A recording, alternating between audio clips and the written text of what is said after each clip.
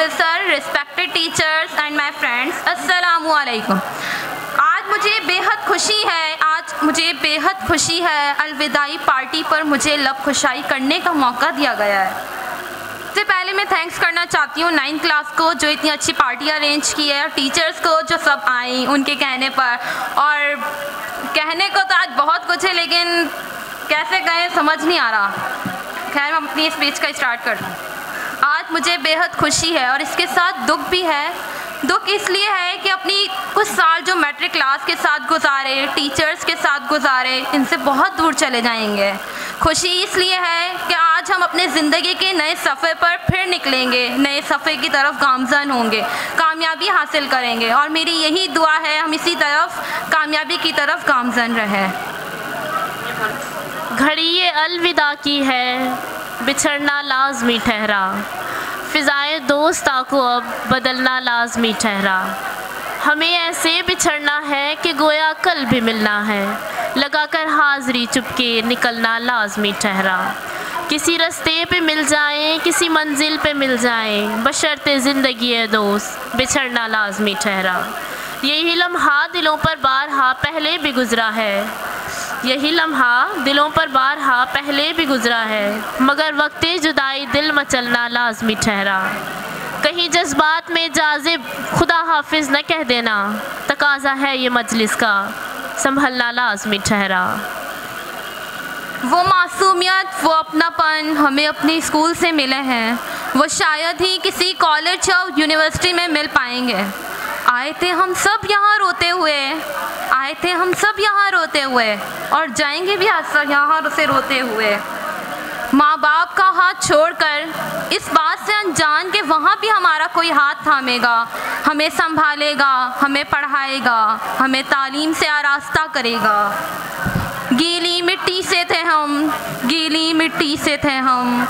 हमारे टीचर्स ने जिस दोस्ती के नाम पर इतना फुदकते हैं, वो भी उन्होंने ही कहना सिखाया था फ्रेंड्स याद है, आज भी वो स्कूल का पहला दिन। जब ये कहना सीखा था कि फ्रेंड्स कट्टी बट्टी मारना, पीटना, बहुत याद आएगा। लड़ना, झगड़ना, वो लंच ब्रेक में सबका टिफ़िन चकना बहुत याद आएगा। ये सारी बातें हमारी लाइफ के टिफ़िन बॉक्स में डिज़र्ट का काम करेंगी। आज फेयरवेल के दिन हम अपने सब फ्रेंड्स को ये कह रहे होंगे कि आई विल मिस यू यार। लेकिन वहीं पर बाकी कुछ लोग हैं जिन्हें हम बेनतहा याद करेंगे, बहुत मिस करेंगे और वो है हमारे सब इस जिन्होंने हमें मे आई कम इन द क्लास से लेकर get out from the class तक सिखाया। वो हर लम्हा मेरे जहन में आज भी आता है तो ऐसा ही लगता है जैसे अभी कल की ही बात है। लेकिन हमें नहीं पता हम ज़िंदगी का एक सफ़र तय कर चुके होते हैं और अब हमें आगे बढ़ना है। आज वो वक्त आ गया जब हमें उन सबसे बिछड़ जाना है, दूर हो जाना है। पिछले साल तक हम अपने सीनियर्स को फेयरवेल दे रहे थे। उनके लिए गाने चुन रहे थे, तैयारियाँ कर रहे थे। तो उन पर भी ऐसा कुछ वक्त गुजरा कि वो भी कुछ अपसेट थे। तो आज हमें भी पता चल रहा है कि आज हम कितना अपसेट हैं। वो भी ऐसे ही कि बस उनके लिए अलविदाई गाने चुन रहे थे। हमें ये क्या पता था कि वक्त हम पर भी आएगा? इतनी वक्त इतनी तेज़ी से ये वक्त वक्त गुजरा है कि समझ नहीं आ रहा कि किन लफ्ज़ों में मैं कहूँ। किसी ने सच कहा है कि इंसान को उस चीज़ का एहसास तभी होता है जब वो वक्त उस पर आता है। So we can't explain in our words खैर, आज और आगे बढ़ जाएँगे हम। आज और आगे बढ़ जाएँगे हम। पर ना जाने क्यों, ऐसा लग रहा है कि दिल में कुछ टूट सा रहा है।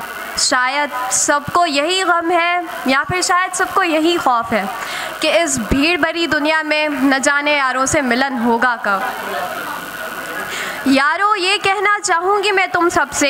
यारो, ये कहना चाहूँगी मैं तुम सबसे कि तुम लोगों की याद बड़ी आएगी। जब कोने में पड़ी स्कूल की उन किताबों को देखूँगी। तुम लोगों की याद से मेरी आँखें तो भर आएँगी, मगर साथ में की गई शैतानियाँ बहुत याद आएँगी।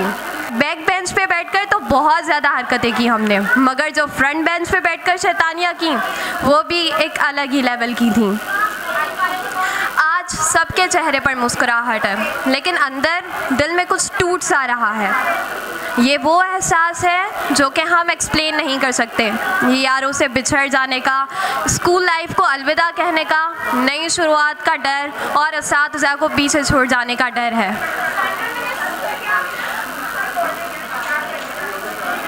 वो यारों से पैसे छीन कर उन्हीं के पैसों से चीज़ें खाना कैंटीन पे उनको मारना और उनसे बहुत ज़्यादा बातें करना। लेक्चर्स के दौरान भी टीचर्स की एब्सेंस में उनसे बात करना बहुत याद आएगा। जब कॉरिडोर के हॉल में हाथ में हाथ डालकर हम लोग चला करते थे और एक दूसरे से रेस लगाया करते थे। अगर दोस्तों में से कोई गिरता तो उस पर तो खूब हँसते थे। मगर जब खुद गिरते थे तो किसी को हंसने भी ना देते थे। वो याद आएगा हम सबका एक साथ बिरयानी खाना। सीढ़ियों पर खड़े होकर सर्दी की धूप सेकते हुए, आंटी के पकोड़े और पेटीज़ वगैरह खाना। वो याद आएगा इमामजादी से पैसे लेकर आंटी की चीज़ खाना और नफीसा को हर बार ये कहना कि यार कैंटीन से चीज़ खिला दो। याद आएगा मिस शुमाइला का हमें बहुत मुश्किल मैथ्स के सम समझाना और इस तरीके से समझाना कि हमें आंसर्स तक याद हो जाते। याद आएगा मिस बीना से हमेशा टेस्ट ना लेने की अपील करना। याद आएगा, मिस सिद्रा का इतने मुश्किल चैप्टर्स जो कि हमें लगता था हमें कभी याद भी ना होंगे, लेकिन वो हमें इस तरीके से याद कराई थी, जैसे हमने ए बी सी बचपन में याद की। मिस, हम वादा करते हैं, हम कभी नहीं भूलेंगे, और हमें सारे लेक्चर्स अच्छे से याद हैं। और आपका प्रेजेंटेशन में अप्रिशिएट करना भी बहुत याद आएगा। मिस शुमाइला और मिस सदब से तो दिल का ही कनेक्शन था, लेकिन हम मिस नूर को भी नहीं भूल सकते, जिन्होंने हमें बायो जैसा मुश्किल सब्जेक्ट इतने प्यार से और इतने आराम से समझाया कि हमारे लिए वो भूलना इम्पॉसिबल हो गया। आज जो बिछड़े हम, फिर न जाने होगा मिलन कब दोबारा। यारो, एक इल्तजा है तुमसे कि जब हो मिलन दोबारा तो यूँ मत कहना कि मैंने तो नहीं पहचाना तुम्हें। इससे पहले के हो जाए बेवफा हम सब। इससे पहले के हो जाए बेवफा हम सब। क्यों ना ए दोस्त, बिछड़ जाए अब हम। तू भी हीरे से बन गया पत्थर, तू भी हीरे से बन गया पत्थर।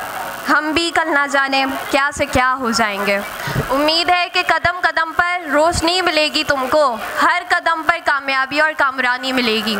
बस दोबारा वही कहूँगी कि भूल मत जाना और इन कीमती पलों को हमेशा अपने ज़िंदगी में संभाल के रखना, क्योंकि शायद अब हमें दोबारा मस्ती करने का मौका ना मिले, क्योंकि अब हम बड़े हो चुके हैं। प्रैक्टिकल लाइफ में आने वाले all the best all the best यारो तालियाँ बजा दो।